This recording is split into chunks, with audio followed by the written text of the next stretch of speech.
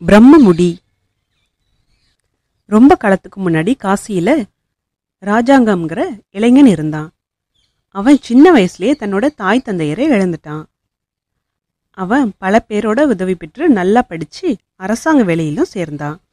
அரசாங்க வேலை கிடைச்சதுக்கு அப்புறம் அவனோட வாழ்க்கை சக்கரம் தங்கு தடை இல்லாம சுத்திக்கிட்டே இருந்தது. அவன் ஒரு சத்திரத்துல இருந்து அங்கேயே சாப்பிட்டுட்டும் வந்தான். அவனுக்கு தனியா இருக்க பிடிக்கல. எல்லா வாலிபர்கள் போல தானும் கல்யாணம் செஞ்சுக்கிட்டு குழந்தையும் குடித்தனமா இருக்கணும்னு அவன் ஆசைப்பட்டான். கல்யாணம்னா யாராவது ஒருத்தவங்களோட உதவி இருந்தால் தானே நடக்கும்.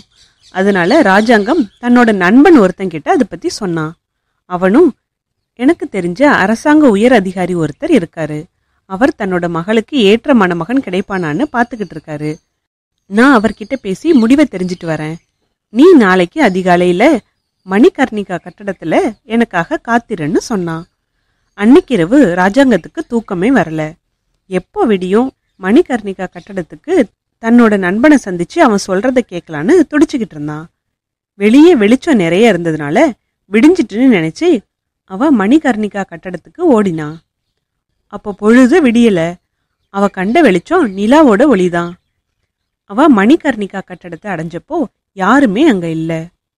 தன்னோட நண்பனை எதிர்பார்த்து அவன் அங்கேயே உட்கார்ந்திருந்தான். அப்போ கொஞ்ச தூரத்துல யாரோ ஒருத்தர் உட்கார்ந்திருக்கிறத அவன் பார்த்தான். அவரோட பேசி பொழுது போக்கலான்னு நினைச்சு ராஜாங்கம் எழுந்து போனான். அங்க உட்கார்ந்திருந்தவர் ஒரு கிழவர். அவர் அந்த நில வெளிச்சத்துல பனை ஓலைகள்ல ஏதோ எழுதிக்கிட்டு இருந்தாரு. ராஜாங்கம் அவர் பின்னாடி நின்று அவர் என்ன எழுதுறாருன்னு பார்த்தான். அது அவனுக்கு புரியல. அவன் கிழவர்கிட்ட அதை பத்தி கேட்டோன்னே இது சூரியோதயத்துக்கு முன்னாடி பிறக்கிற குழந்தைகளோட ஜாதகம். நான் எழுதுறது பிரம்மலிபி. இது உனக்கு புரியாதுன்னு சொன்னார்.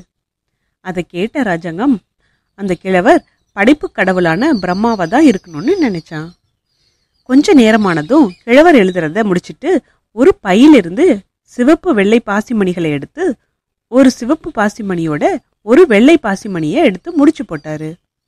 அதை பார்த்தோன்னே ராஜாங்கம் இது என்ன முடியுன்னு கேட்டோன்னே அவரும் இது பிரம்மமுடி.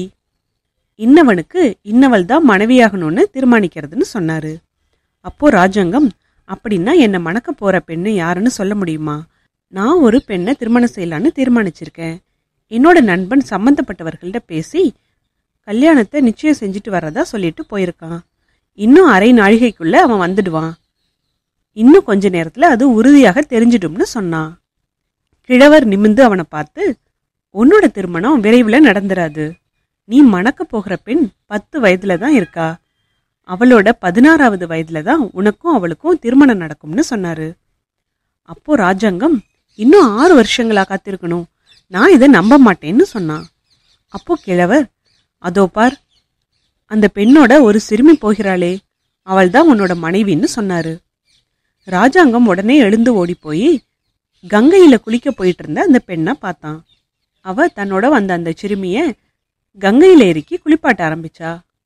அந்த சிறுமியா தனக்கு மனைவியாக போறான்னு நினைச்சு ராஜாங்கம் மன வருந்தினா. அவன் திரும்பி பார்த்தப்போ அந்த கிழவர் அங்க இல்ல. எங்கேயும் தென்படவும் இல்ல. தன்னோட நண்பனும் வராம போனோன்னே இன்னைக்கு எந்த வேலையும் நடக்காதுன்னு நினைச்சு ராஜாங்கம் சத்திரத்துக்கு திரும்பி போனான் வழியில அரசாங்க காவலாளி ஒருத்தனை பார்த்தான். அவன்கிட்ட மணிகர்ணிகா கட்டடத்துல ஒரு பெண்மணியோட சிறுமி வடிவில் ஒரு பிசாசு இருக்கு.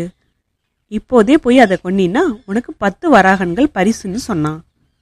அந்த காவலாளியும் அந்த பிசாசை காட்டும்படி சொன்னோன்னே ராஜாங்கம் அவனை மணிகர்ணிகா கட்டடத்துக்கு அழைச்சிட்டு போய் அப்போ குளிச்சிட்டு கரைக்கு வந்துட்டு இருந்த பெண்மணியையும் அந்த சிறுமியையும் காட்டினான் காவலாளியும் தான் அவளை கொல்றதா சொல்லி ராஜாங்கத்தை அனுப்பிவிட்டு அந்த பெண்ணை தொடர்ந்து போனான் அவன் அந்த சிறுமியை கொல்ல கத்தியை உயர்த்தியப்போ அவ பார்த்த பார்வை அவனோட மனசை இலக்கிட்டு அதனால அவன் அந்த சிறுமியோட கண் ஓரமா காயப்படுத்திட்டு ஓடி போனான் அவன் ராஜாங்கத்தை பார்த்து தான் பிசாச கொன்னுட்டதாக சொல்லி பரிசையும் வாங்கிக்கிட்டான்.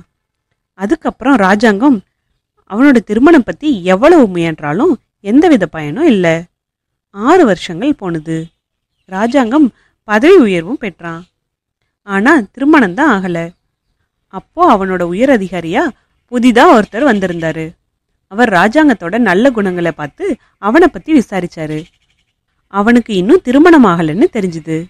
அவர் ராஜாங்கத்திட்ட நீ திருமணம் செஞ்சுக்க விரும்பலையான்னு கேட்டோன்னே அவனும் அதெல்லாம் இல்லை. பல சம்பந்தங்கள் வந்தும் எதுவும் சரியாக அமையலைன்னு சொன்னான். அந்த அதிகாரியும் எனக்கு ஒரு மகள் இருக்கா. நல்லா படித்தவ வீட்டையும் பொறுப்போட கவனிச்சுக்குவா. நீ அவளை திருமணம் செஞ்சுக்கிறியான்னு கேட்டாரு. ராஜாங்கமும் அதுக்கு சம்மதிச்சோன்னே அவனோட திருமணம் அந்த பெண்ணோட நடந்தது.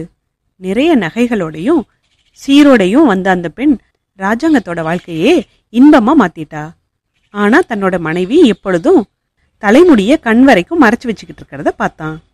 அது பத்தி அவன் தன்னோட மனைவி கிட்ட கேட்டோன்னே அவளும் நான் பத்து வயது சிறுமியா இருந்தப்போ ஒருத்தன் என்னோட கண்ணோட பக்கம் குத்திட்டான். அந்த தழும்ப மறைக்க தான் இதுன்னு சொன்னான். ராஜாங்கமும் இது மணிகர்ணிகா கட்டடத்துல நடந்ததா? அப்போ உன்னோட தாயார் உன்னோட இருந்தாளான்னு கேட்டான். இது எப்படி உங்களுக்கு தெரியும்? அந்த பெண் எங்க வீட்டு வேலைக்காரி என்னோட தாயார் இல்லைன்னு சொன்னான் அப்போ ராஜாங்கம் மணிகர்ணிகா கட்டடத்துல தாம் பார்த்த கிழவர் பத்தி சொன்னோன்னா அவளும் அப்படின்னா அவர் பிரம்மாவை தான் இருக்கணும்னு சொன்னான் ராஜாங்கமும் ஆமா அவர் பொட்ட முடிதான் பழிச்சுது நான் கல்யாணத்துக்கு எவ்வளவோ முயன்றேன். ஆனா அவர் அன்னைக்கு சொன்னபடி ஆறு வருஷங்கள் காத்திருந்து உன்னதான் மணக்க வேண்டியதானது? அவரோட முடிவை மாற்ற முடியாதுதான்னு சொன்னான்.